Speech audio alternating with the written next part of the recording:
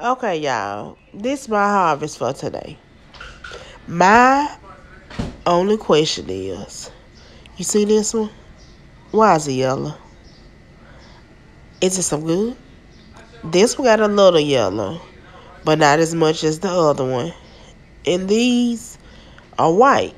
Is the white one some good and the yellow one's not? That one look good. And this one look good. This is my second time getting a real yellow one like this one.